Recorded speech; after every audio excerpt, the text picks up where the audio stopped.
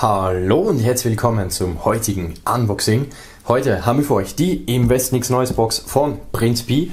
Alle weiteren Informationen zu diesem Album, der Tracklist und dem Boxenhalt, sowie natürlich auch die Links zum Album und zur Box findet ihr wie immer unter diesem Video in der Videobeschreibung. Im Westen nichts Neues von Prince P, das Ganze aus dem Jahr 2016. So sieht das Ganze aus. Wir haben hier eine Box mit Prince P groß auf der Vorderseite mit Brille und Haube, wie man ihn kennt. Hier unten lesen wir dann in weißer Schrift Prince P im West Nix Neues Limited Premium Box. Rundherum eine weiße Zierleiste bzw. ein weißer Rahmen. Auf der Unterseite blank-schwarz.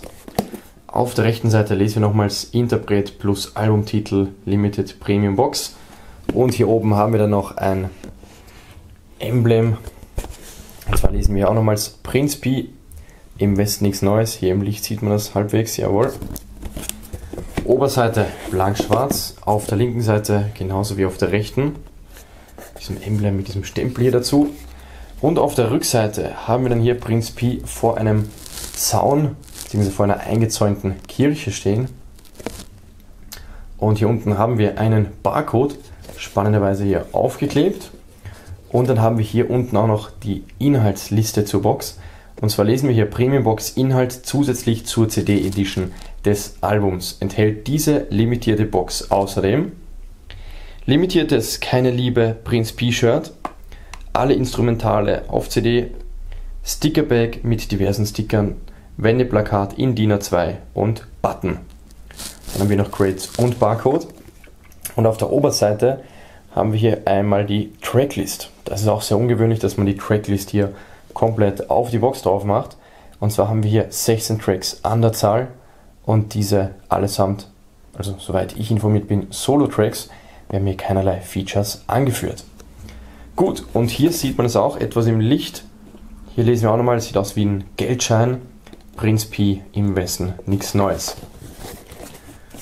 Und hier, was ich auch spannend finde, ich weiß nicht, ob das so gut rüberkommt in dem Video. Wir haben hier diesen Aufdruck von Prinz P. Der ist, wie man hier im Licht sieht, echt so eine Hochglanzoptik, das spiegelt hier stark. Allerdings der Rest der Box ist so matt und fühlt sich echt ein bisschen, ja, bisschen anders an als reguläre Boxen, weil die sind dann doch irgendwie durchgängig Hochglanz oder in so einer speziellen Optik, aber das hier ist echt so, so was ganz Spezielles und auch etwas rauer als reguläre Boxen, also das ist echt interessant und hochwertig gemacht. Gut, das Ganze eine Klappbox, geht hier auf der Seite auf. Wir haben hier einmal ein Shirt, diese Sticker Bag, den Button, das Poster, die Instrumentals und natürlich das Album an sich. So sieht das Ganze von innen aus, glatt schwarz. Und was wir hier auch noch sehen, das habe ich jetzt euch gar nicht so gezeigt, diese Schrift Prinz Pi und im Westen nichts Neues, die dürfte hier so geprägt sein. Also wenn man hier drüber fährt, dann spürt man das. Das ist hier erhaben. Also noch ein zusätzliches Detail, das die Box hier noch hochwertiger erscheinen lässt. Gut, nachdem das Album hier noch eingeschweißt ist, werden wir dieses Mal befreien.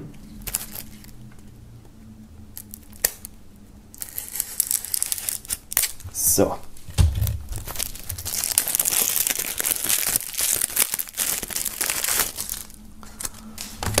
Und diese Stickerpackung werden wir dann auch mal öffnen.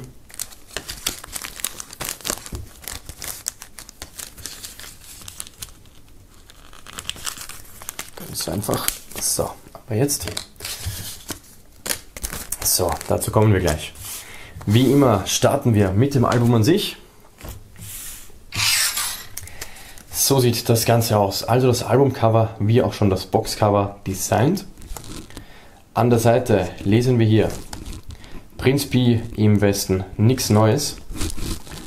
Und auch hier, wie auch schon auf der Box, haben wir hier oben die Tracklist und hier Prinz P vor dieser eingeschlossenen, vor dieser umzäunten Kirche stehen.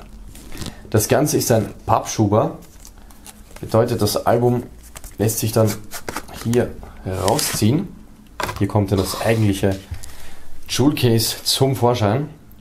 Also das Album hier in einem Standard Jewel Case mit Pappschuber. Auch hier lesen wir natürlich wieder Prince P im Westen, nichts Neues. Selbes Design wie der Pappschuber und die Box. Und dann kommen wir zum Inhalt. Hier mal Einblick ins Booklet. So sieht das Ganze aus. Also wir haben hier einmal die Credits direkt zum Anfang, sehr ungewöhnlich. Dann haben wir Prince P zwischen Licht und Schatten spazieren. Schöne Fotografie. Okay, dann haben wir hier einen Track. Und dann haben wir den gesamten Text aufgelistet. Wort für Wort.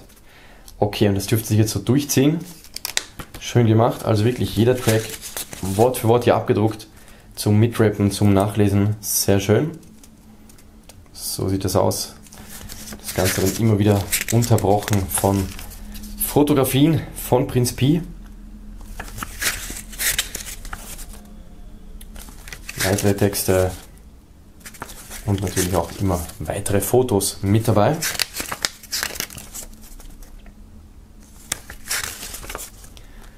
Gefällt mir von der Booklet-Gestaltung echt gut. Also es ist sehr textlastig, aber das kennt man ja von Pi, dass seine Tracks echt viel, viel Inhalt viele Worte beinhalten. So, und dann natürlich auch wieder ein Foto. Und dann hier zum Abschluss noch eine Danksagung. So, Prinz B hier wieder zwischen Licht und Schatten sitzend. Dann kommen wir mal, wenn wir das Booklet hier verstaut haben, zur Album-CD. Die sieht so aus und das finde ich richtig, richtig schön gemacht.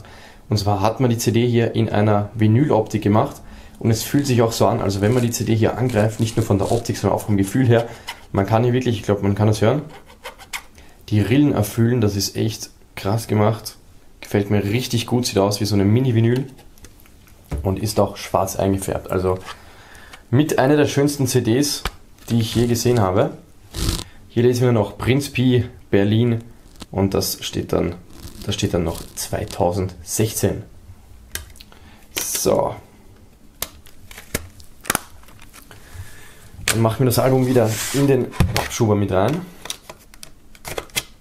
Also das Album mit 16 Tracks. Dann haben wir einen Button mit dabei. So sieht er aus in Rot und Weiß. Prinz Pi im Westen nichts Neues lesen wir hier. Dann haben wir mit dabei dieses Sticker-Set schauen wir mal kurz, wie viele sich hier wirklich in diesem Säckchen befinden. Und zwar haben wir hier dann noch diesen Verschluss dieses Beutels, Prinz Pi im Westen nichts Neues. Das Ganze war dann hier mit so zwei Klammern zugetackert. Und dann haben wir hier jede Menge Sticker. Und zwar haben wir hier einmal zwei Sticker in quadratisch, keine Liebe in schwarz und weiß. Dann haben wir hier rechteckig Prinz Pi im West nichts Neues in Rot und Weiß. Dann in Schwarz und Weiß und Rot und Weiß auch wieder rechteckig im Querformat. In dieser Geldscheinoptik, mehr oder weniger. Und dann noch einen kreisförmigen Sticker Prinz Pi im Westen nichts Neues. Also wir kommen auf insgesamt sechs Sticker.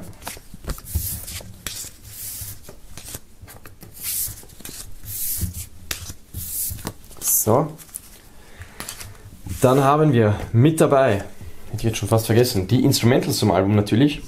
Die kommen in einem Digisleeve, in einer Papphülle. Auch hier wieder Pi abgebildet mit Alternativ, also im Alternativcover mit ja, gelb-brauner, beige-gelber Jacke. Prinz Pi im West nichts Neues. Instrumentals lesen wir hier. Und dann hier die 16 Tracks des Albums nochmals aufgelistet. Ich glaube, dieses Foto war das erste im Booklet. Also auch hier wieder, es dürfte in den USA sein, rein von den Autos her. So sieht das aus. In Rot und Weiß gehalten. Dann haben wir mit dabei ein Poster. Hier haben wir Prinz Pi mit Hemd und Weste abgebildet. Haube und Brille ebenfalls am Start. Und hier lesen wir natürlich auch wieder Prinz Pi im Westen. Nichts Neues. Das Ganze im Hochformat. Und wie wir auf der Box gelesen haben, ist das Ganze ein Poster im Format A2, Rückseite blank-weiß. Und als letzten Boxinhalt haben wir dann noch ein Shirt mit dabei. Sieht jetzt etwas enger aus auf den ersten Blick. Hier lesen wir Team P, Prinz P im West, nichts Neues. Keine Liebe, keine Liebe, keine Liebe Records 2016. Das Shirt in schwarz. Neckprint haben wir keinen. Und wir haben es zu tun mit einem Gilden Heavy Cotton Tear Away 100% Baumwolle Made in Bangladesch und das Ganze ist Größe S. Gut, das erklärt auch, warum das Shirt so schmal erscheint. Ich muss jetzt ganz ehrlich sagen, ich weiß nicht mehr, ob man die Größe, die Shirtgröße damals frei wählen konnte oder ob das bei allen Boxen so war, um vielleicht mal irgendwie den ja, etwas zarteren Menschen oder den Frauen entgegenzukommen. Ähm, es kann aber auch gut sein, dass es hier mehrere Größen gab und ich die Box erst relativ spät bestellt habe und dadurch nur noch ähm, S kriegen konnte, weil normalerweise bevorzuge ich meine Shirts in M. Gut, wir schauen uns das Ganze mal kurz im Detail an.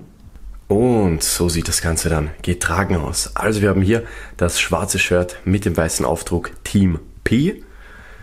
Dann sieht es so ein bisschen aus wie so eine Zaunoptik. Und dann haben wir hier groß dieses Prince P Logo im Westix Neues lesen wir darunter keine Liebe Records MMXVI und links und rechts jeweils nochmals keine Liebe. Gefällt mir ganz gut, kann man durchaus anziehen. Und zum Abschluss fassen wir noch einmal kurz zusammen, was sich alles in der Box befindet. Einmal das eben gezeigte T-Shirt in der Größe S, das Poster im Hochformat einseitig bedruckt, Format A2, die Instrumentals zum Album im Digi-Sleeve, dieser Prince P Button, dann das Sticker-Set bestehend aus sechs Stickern, und natürlich das Album an sich im Pappschuber.